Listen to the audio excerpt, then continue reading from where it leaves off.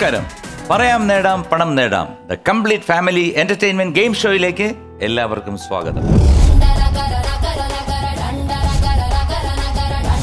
ഒരു മോഹൻ സിത്താര എന്ന് പറയുന്ന ഒരു വ്യക്തി എന്ന് പറഞ്ഞ് underlined by experience in the music field അതെ അതെ. ഒരേ നാൾ ഉനൈ നാൻ നിലാവിൽ പാർത്തത്. അത് നമ്മളെല്ലാരും ഒരു ടെമ്പോയിൽ കുത്തി നിറയ്ക്കുകയാണ്. കാരണം മിക്കവാറും ഞാൻ അണ്ണന്റെ അടുത്തായിരിക്കും. കാരണം ഏറ്റവും ബാക്കിൽ. ബാക്കിലാണല്ലോ കലാപരിപാടി.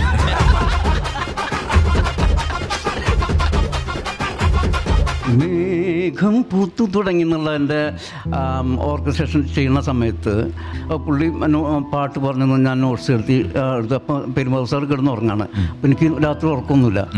നോക്കുമ്പോൾ നാല് മണി അഞ്ച് മണി ഉറങ്ങിയില്ല. അങ്ങനെ പെരുമ്പോൾ സാറ് എന്തോ ശബ്ദം കിട്ടി നോക്കുമ്പോൾ ഞാൻ ബോധം കണ്ട് കേൾക്കുന്നു. ഉഗ്രം പാട്ടായിട്ടോ ഞാൻ അങ്ങോട്ടാ തരണ്ടേ?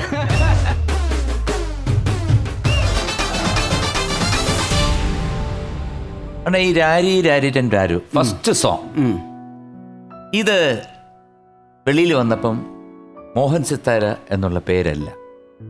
വേറെ ശ്യാം സാർ എന്നോ ആരുടെ പേരാണ് അതെ അതെ ശരിയാണ്? അതെങ്ങനെ സംഭവിച്ചു? അതെനിക്കറിയില്ല. അത് ചിലപ്പം ഈ നമ്മൾ പിന്നെ ആകാശവാണി ഉണ്ടല്ലോ തിരുവനന്തപുരം ആകാശവാണി. ഞാൻ ഒരു പ്രാവശ്യം നമ്മളെ തരങ്ങണ സ്റ്റുഡിയോയുടെ ചായക്കടയുണ്ട്. അതിനടുത്തുള്ള ചായ അതെ അതെ അതെ. അപ്പോൾ അവിടെ ചായ കുടിക്കാൻ വേണ്ടി ഇങ്ങനെ ഇരിക്കുന്ന സമയത്ത് ഈ ഒന്ന് മുതൽ പൂജ്യം വരെയുള്ള ആ, പാട്ട് റേഡിയോയിൽ അപ്പോൾ അതിന് മുന്നേ അതിന്റെ സംഗീതം ശ്യാമാണ് നിർവഹിച്ചിരിക്കുന്നു എന്ന് പറഞ്ഞു. കേട്ടപ്പോൾ എനിക്ക് ഒരു വല്ലാത്തൊരു വിഷമം തോന്നി അതെ. അങ്ങനെ നമ്മുടെ കൊച്ചിന്റെ വേറെ വേറൊരു അച്ഛൻ വന്നു കഴിഞ്ഞാൽ ഇഷ്ടപ്പെടും. പക്ഷെ അപ്പൊ എനിക്കിത് അറിയാം. കാരണം അവർക്ക് തെറ്റുപറ്റിയതാണ് അത് എപ്പോഴെങ്കിലുമൊക്കെ ശരിയാവും വിചാരിച്ച പിന്നെ ഞാൻ മൈൻഡ് ചെയ്തില്ല. പക്ഷെ എന്നാലും ഇവിടെ എവിടെയോ ഒരു വേദന പോലെ ഫീൽ ചെയ്തു അത്രേ ഉള്ളൂ. കേറി പാടാ മക്കളയിൽ മൂന്നാമത്തെ ചോദ്യം. ഒരു ഓഡിയോ ആണ് അണ്ണനായതുകൊണ്ട് ഓഡിയോ ആണ്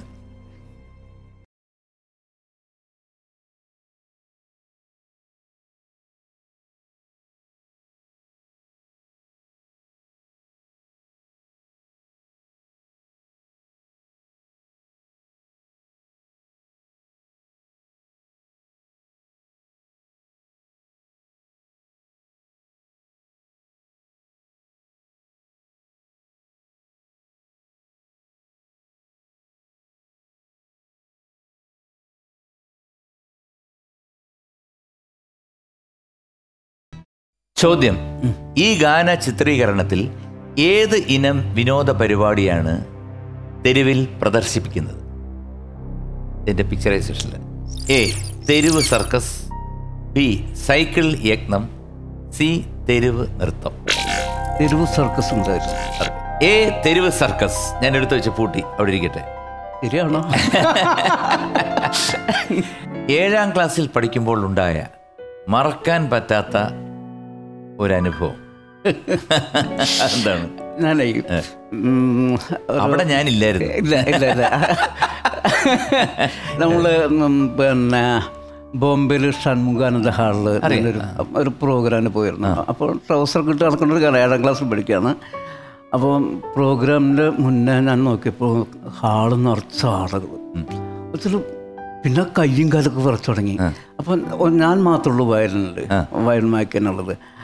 അങ്ങനെ ഞാൻ ഒന്നും കൂടെ ഒന്ന് ശരിയാവുന്ന വിചാരിച്ചാൽ ഞാൻ മേക്കപ്പ് റൂമിൽ വയലിനൊക്കെ ഇങ്ങനെ പ്രാക്ടീസ് ചെയ്തുകൊണ്ടിരിക്കുന്ന ബിറ്റുകളും കാര്യങ്ങളൊക്കെ പ്രാക്ടീസ് ചെയ്തുകൊണ്ടിരിക്കുന്ന സമയത്ത് സ്ട്രിങ് പൊട്ടിപ്പോയി ഓ അപ്പോൾ അത് സ്ട്രിങ് പിന്നെ വേറെ സ്ട്രിങ് ഇടാൻ പറ്റണില്ല കൈ ഇങ്ങനെ കിടന്ന് അപ്പോഴേക്കും ഇത് കണ്ടിരിക്കുന്ന ഒരു പാടുന്ന ഒരു ചേച്ചിയുണ്ട് ആ ചേച്ചി ആ ഇതെന്ത് ഈ കാണിക്കണേ എന്ന് പറഞ്ഞിട്ട് ചേച്ചിനെ അതിന്റെ ഉള്ളിൽ കൂടെ കമ്പിയൊക്കെ കോർത്തുനിന്ന് ഇതാക്കി പിന്നെ എന്താ പറയാ ഇറത്ത് കുളിച്ച് പിന്നെ സ്റ്റേജിലേക്ക് അകത്ത് കയറി ഫസ്റ്റ് വിറ്റ് വയ്ക്കുമ്പോൾ ബാബ പറഞ്ഞൊരു ശബ്ദം അങ്ങനൊക്കെ ഒരു വല്ലാത്ത അവസ്ഥയായിരുന്നു. പിന്നെ കുറച്ച് രണ്ട് മൂന്ന് പാട്ട് കഴിഞ്ഞപ്പോൾ ധൈര്യമായി. പിന്നെ എന്താ പറയുക കുറേ നോട്ടുമാലകളൊക്കെ കിട്ടി. കൊച്ചു കുട്ടികളാണ് ആ. കൊച്ചു കുട്ടികളാ. വായന നന്നായിട്ടൊന്നും ആയിരിക്കില്ല പക്ഷെ ഇങ്ങനെ ഒരു കൗതുകമല്ലേ ഏഴാം ക്ലാസ് പഠിക്കുന്ന കുട്ടി ഇങ്ങനെ? അതെ അതെ. അങ്ങനെ ഒരുപാട് ആളുകളും നോട്ടുമാല കിട്ടുന്നുണ്ട്. നോട്ടുമാല അപ്പം ദാസേട്ടനെ കുറിച്ച് പറഞ്ഞു. ജയചന്ദ്രൻ തൃശ്ശൂരാണ്. നിങ്ങളൊരു സ്ഥലമാണ്. അതെ. ജയേട്ടന്റെ എത്ര പാട്ടുകളാണ്? ജേട്ടൻ അധികമൊന്നും പാടിയിട്ടില്ല. എന്നാലും പാടിയതൊക്കെ ഹിറ്റാണ്. ജേട്ടനെ പറ്റി പറയുന്ന ഒരു കൊച്ചു കുട്ടികളെ പോലത്തെ ഒരു ആളാണ് ഭയങ്കര ചൂടനാ പക്ഷേ. എന്താ പറയാ?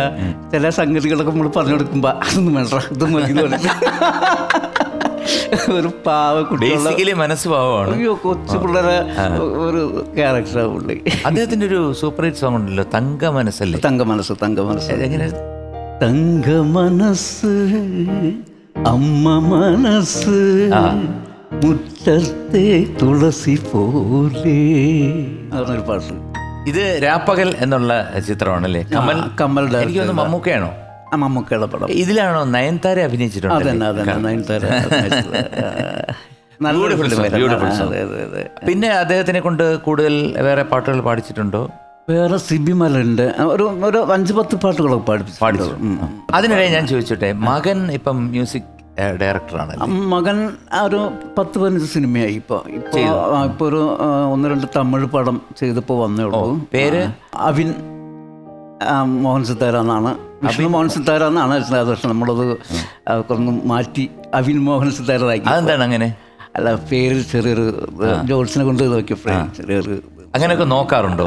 തീർച്ചയായിട്ടും. ഞാൻ പറഞ്ഞല്ലോ ഞാൻ ഫുൾ ദൈവത്തിൽ മാത്രം വിശ്വസിക്കുന്ന ഒരാളാണ് എന്നിലും എന്നിലൊന്നുമില്ല എന്നിൽ സീറോ ആണ്. അല്ല അപ്പം ഞാൻ ചോദിച്ചോട്ടെ ഇപ്പം മോഹൻ സിത്താര എന്ന് പറയുന്നത് നമ്മൾ ആരുടെ ചോദിച്ചിട്ടല്ല ഉം. അപ്പൊ അതിനകത്ത് മോഹന് ഭയങ്കര ഉയരങ്ങളിൽ വരാൻ സാധിക്കും അതെ അപ്പൊ മകന് വിഷ്ണു മോഹൻ സിത്താര എന്ന് മാറ്റിയിട്ട് അബിൻ മോഹൻ സിത്താര എന്നിട്ടു അങ്ങനെ വന്നപ്പോഴത്തേക്ക് ഞാൻ ചോദിക്കുന്നേ പടങ്ങൾ കൂടുതൽ കിട്ടുന്നുണ്ടോ? പാട്ടുകൾ ഹിറ്റ് ആവുന്നുണ്ടോ? ഈ ഇടയ്ക്കാണ് അപ്പോൾ അത് മാറ്റിയത്. അത് അതിനുശേഷം ഇപ്പോൾ തമിഴ് പടം ചെയ്തു. ആ അതാ തമിഴ് പടം അതിന്റെ ഇപ്പോൾ മിക്സിങ് നടന്നുകൊണ്ടിരിക്കണം അപ്പോൾ ഞാൻ പറഞ്ഞ സമയത്ത് മോൻ അത് മിക്സ് ചെയ്തുകൊണ്ടിരിക്കുകയാണ്. നമുക്കറിയാം മോഹൻ സിത്താര എന്നിങ്ങനെ പേര് വന്നു നമുക്ക് രണ്ടുപേർക്കും മോഹൻ എന്നാണ് പേര്. സിത്താര എന്ന് വന്നത് എങ്ങനെയാണ്? ആക്ച്വലി ഞാൻ പേപ്പറിൽ കൂടിയാണ് അറിയുന്നത് മോഹൻ സിത്താര എന്നുള്ള എന്റെ പേര്.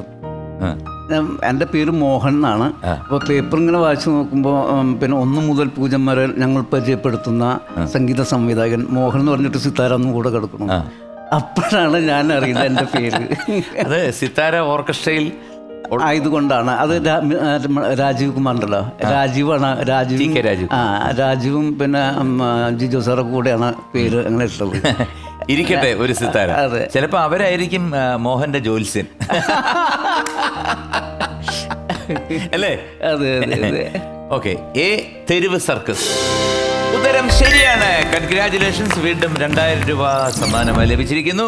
അതാണല്ലോ അതിന്റെ ഒരു അത്. അല്ല ഇത്.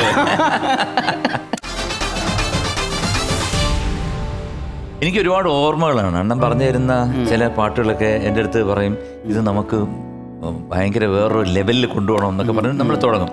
അതിൽ ഒരു പാട്ട് എനിക്ക് ഓർമ്മ വന്നു. കാരണം ഒരു ദിവസം മുഴുവൻ പാടിയ പാട്ടാണ് അതെ മമ്മൂക്കയുടെ ഒരു പടമാണ്. ആ പാട്ട് ഇങ്ങനെ തുടങ്ങുന്നത്. നിറനാഴിപ്പൊന്നിൻ മലലാര്യൻ നെല്ലിൽ മണ്ണ് തെളിയുന്നേ തെളിമിന്നൽ തേവി മറുകണ്ഠം പൂട്ടി മനസ്സും കുളിരുന്നേ.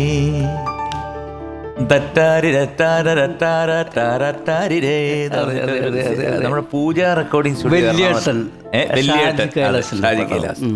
ഇത് നമ്മൾ ഏകദേശം കാലത്ത് പത്ത് മണിക്ക് റെക്കോർഡിംഗ് തുടങ്ങി. എറണാകുളത്ത്. തുടങ്ങിയിട്ട് ഉച്ചയ്ക്ക് ഒരു ഒരു മണിയായപ്പോൾ പറഞ്ഞു നോക്കി ഊണ് കഴിച്ചിട്ടുണ്ട് അത്രയും സമയം ഒരു പല്ലവി ആയുള്ളൂ. അതെ അതെ അതെ. പിന്നെ ഉച്ചയ്ക്ക് നമ്മൾ ഊണ് കഴിച്ചിട്ട് പിന്നെ അതിന്റെ അനുപല്ലവി എടുത്തു. അപ്പോഴത്തേക്ക് വൈകുന്നേരം അഞ്ചു മണിയായി. ചായ കുടിച്ചിട്ട് ചായ കുടിച്ചിട്ട് ചായ കുടിച്ചിട്ട് വരാന്ന് പറഞ്ഞ് നമ്മൾ താഴെ പോയി വടയും ചായ എല്ലാം കുടിച്ചിട്ട് വീണ്ടും വന്നിട്ട് അതിന്റെ ചരണവും തീർത്തു. എന്റെ ലൈഫിൽ ഞാൻ എത്രയും കൂടുതൽ സമയം എടുത്ത് പാടിയ ഒരു പാട്ടാണ്. അതാണ് ഞാൻ പക്ഷെ അത് ഡബിൾ ട്രാക്ക് ആയിരുന്നു അതെ അതെ അതെ അതെ. അതിന്റെ അനുപല്ലുവിൽ ഭയങ്കര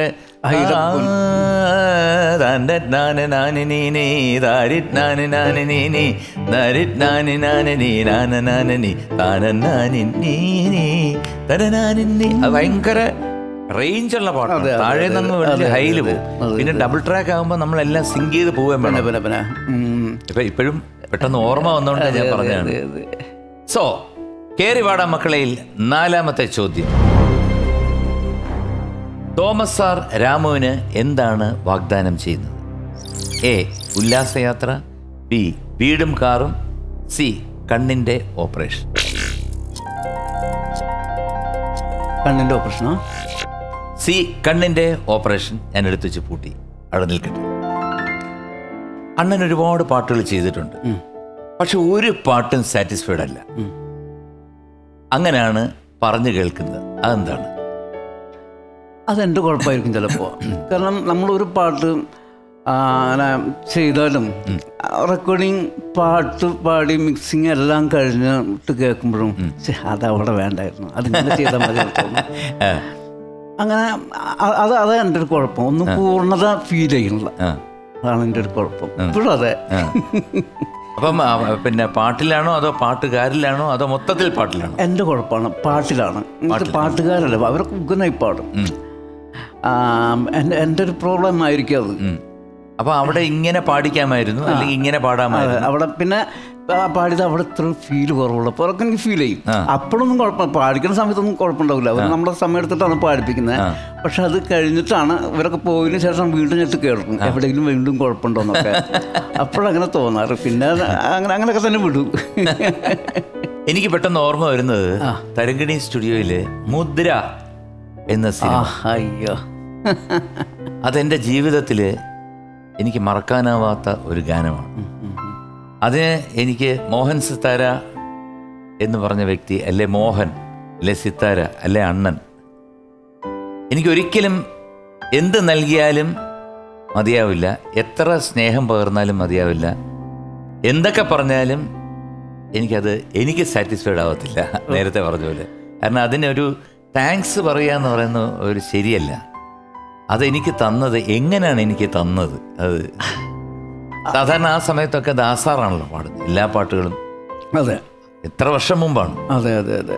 അതെന്താ ശ്രീകുട്ട നമ്മളൊരു പാട്ട് കമ്പോസ് ചെയ്യുമ്പോൾ നമ്മുടെ മനസ്സിലേക്ക് ഒരു ഒരു ഒരു ഒരു വോയിസ് വരും. വരും ആ വോയിസിൽ പാടിയാൽ ആ പാട്ട് മറ്റൊരു എല്ലാവരും പാടി നന്നാവും പക്ഷേ ആ ആ പാട്ടിന് കുറച്ചും എന്താ പറയുക സുഖം കിട്ടും.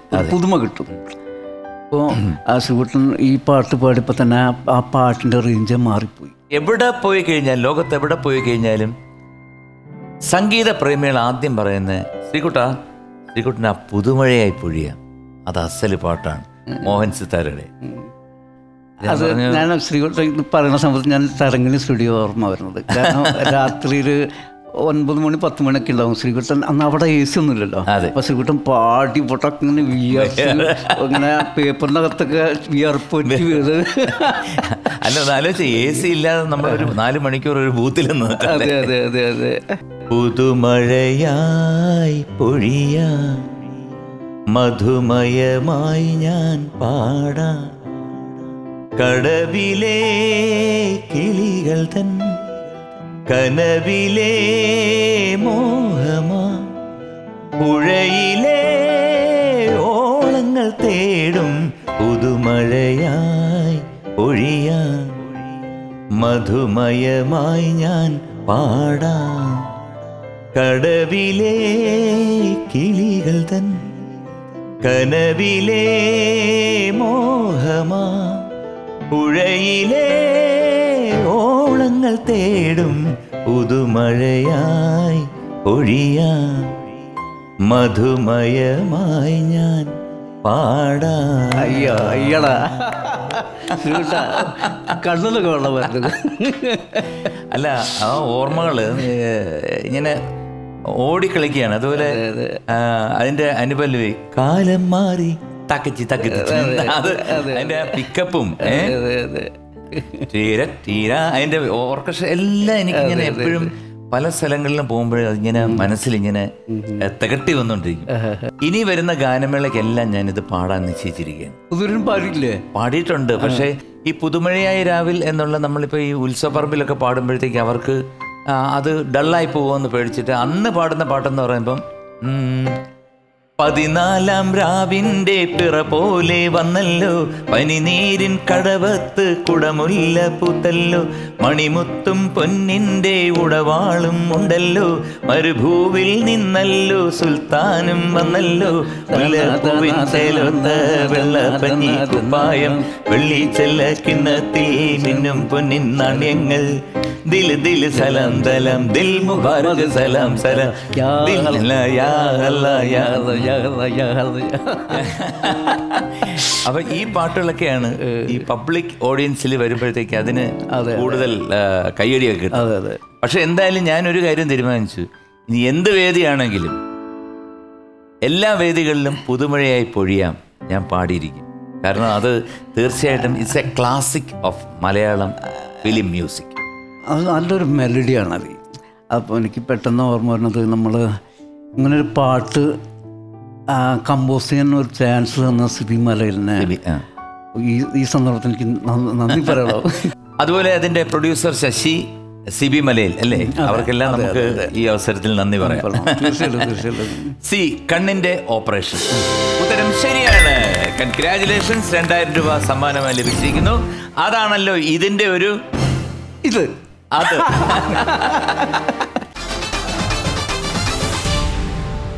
കേറി പാടാ മക്കളയിൽ ദ ലാസ്റ്റ് ക്വസ്റ്റ്യൻ അഞ്ചാമത്തെ ചോദ്യം ഇതാ. ഒരു വീഡിയോ കാണാം.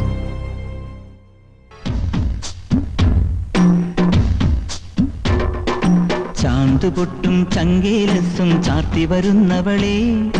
പുലരിപ്പെണ്ണെ നിന്നെ കാണാൻ പോതി പെരുകണ് മനസ്സിൽ നീ ഒരു സുന്ദരിയല്ലേ. ദേവമനോഹരിയല്ലേ.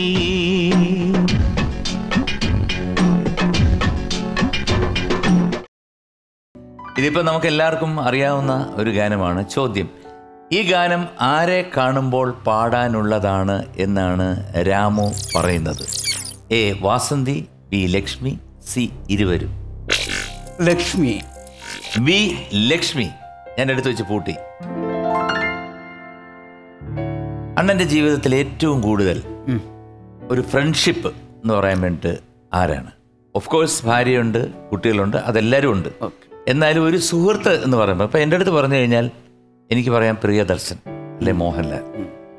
യഥാർത്ഥ സുഹൃത്തുക്കൾ. അതെ അതുപോലെ ഒരുപാട് പേരുണ്ട്. അതെ അതെ. പക്ഷെ വളരെ ക്ലോസ് ആയിട്ടുള്ള ഒരു സുഹൃത്ത്. ഞാൻ തൃശ്ശൂരിൽ നിന്ന് തിരുവനന്തപുരത്ത് വന്നു. ആദ്യമായിട്ട് പരിചയപ്പെട്ടത് ഗണേഷ് എന്ന് പറഞ്ഞ എന്റെ ഒരു ഇന്റിമേറ്റ് ഫ്രണ്ട് ഗണേശൻ. അതെ. അന്ന് മുതൽ ഇന്ന് വരെ ഈ നിമിഷം വരെ ഒരു എന്താ പറയുക എന്നെ അറിഞ്ഞുകൊണ്ട് എന്നെ സ്നേഹിക്കുന്ന അല്ലെങ്കിൽ ഗണേശനെ അറിഞ്ഞുകൊണ്ട് ഞാൻ സ്നേഹിക്കുന്ന ഒരു അച്ഛന്റെ അമ്മയുടെ മക്കൾ പോലെ ജീവിക്കുന്ന ഒരാളാണ്. അതിനകത്തൊരു അണാ പൈസ ബന്ധമൊന്നുമില്ല. അയ്യോ അങ്ങനെ അങ്ങനെ സാധനമില്ല ഗണേശൻ പിന്നെ എന്റെ കൂടെ തബല വായിക്കുന്നുണ്ട്. ഞങ്ങൾ ഒരുമിച്ചാണ് മ്യൂസിക് പഠിച്ചത്. അത്തരങ്ങനിൽ മ്യൂസിക് പഠിച്ചത്. പിന്നെ എന്റെ പിന്നെ നമ്മൾ ഓർക്കസ്ട്ര അതെല്ലാം കണ്ടക്ട് ചെയ്യുന്ന പുള്ളിയാണ് പിന്നെ അതുപോലെ അവരുടെ ഫാമിലി കിട്ട് എന്റെ ഫാമിലി കിട്ട് ഭയങ്കര ഒരു കുടുംബം പോലെ ജീവിക്കുന്ന ഒരാളാണ് ഗണേശൻ അത് എന്റെ ഏറ്റവും എന്താ പറയുക അതിലപ്പുറം ഫ്രണ്ടില്ല അപ്പോൾ എന്തായാലും നാളെ രാത്രി നമ്മൾ തുടരുമ്പോൾ ഗണേശനെ കൂടെ വരുത്താം. ഓ തീർച്ചയായിട്ടും തീർച്ചയായിട്ടും. ചെറിയ ചില്ലറ കാര്യങ്ങൾ എനിക്ക് മനസ്സിലാക്കാൻ പറ്റുമല്ലോ. തീർച്ചയായിട്ടും അല്ലേ? ഗണേശൻ വരുമ്പോഴത്തേക്ക് വേറെ ചില കാര്യങ്ങൾ എനിക്ക് ചോദിക്കാം. അതായത് മോഹൻ സിത്താരയുടെ പ്രണയം അതുപോലെ മോഹൻ സിത്താരയുടെ ചെറ ചെറ ചെപ്പടി വിദ്യകൾ. ഇതൊക്കെ എല്ലാവർക്കും ഉണ്ടാവുമല്ലോ. എല്ലാവർക്കും ഉണ്ട്. അപ്പൊ നമുക്ക് ഗണേശന്റെ അടുത്ത് ചോദിച്ചാൽ കൂടുതൽ അറിയാൻ സാധിക്കും. അപ്പൊ നാളെ രാത്രി തീർച്ചയായിട്ടും എട്ട് മണിക്ക് പുള്ളിയെ കൊണ്ടുവരണം. Okay okay? അപ്പം ഉത്തരം നൽകിയിരിക്കുന്നത് ബി ലക്ഷ്മി. ഉത്തരം ശരിയാണ്. കൺഗ്രാറ്റുലേഷൻസ് പതിനായിരം രൂപ സമ്മാനമായി ലഭിച്ചിരിക്കുന്നു Thank you, thank very good അതാണല്ലോ ഇതിന്റെ ഒരു അത്. അണ്ണാ ഇന്നിവിടെ സമയം അവസാനിച്ചിരിക്കുകയാണ്. ഓക്കെ ഓക്കെ അപ്പൊ എന്തായാലും നാളെ രാത്രി ഈ പറഞ്ഞ പോലെ നമുക്ക് വീണ്ടും കൂടാം. തീർച്ചയായിട്ടും. അണ്ണന്റെ സുഹൃത്ത് ഗണേശനെ കൂടെ നമുക്ക് കേടാം. Okay then good night sweet dreams എന്താണ് മോഹൻ സിത്താരെ കുറിച്ച് പറയാനുള്ളത്? ഒരു ദിവസം ഞാൻ മാഷിന്റെ അടുത്ത് ചെല്ലുമ്പം എടാ ഒരു പാട്ട് കേട്ട്. മാഷ് സാധാരണ പാട്ടൊന്നും വേറെ മറ്റൊരാളുടെ അയ്യോ, പാട്ട് കേൾക്കില്ല അറിയാലോ എല്ലാം അറിയാലോ. ആ. ഒരു പാട്ട് കേട്ട്. ലല്ലലാലീ ദാനി എന്ന് ഇത്തിരി മാഷ് പാടി. ആ ഇവൻ വല്ലവരൊന്നും വല്ലയിടത്തുനിന്നും അടിച്ചു മാറ്റിയതാണോ.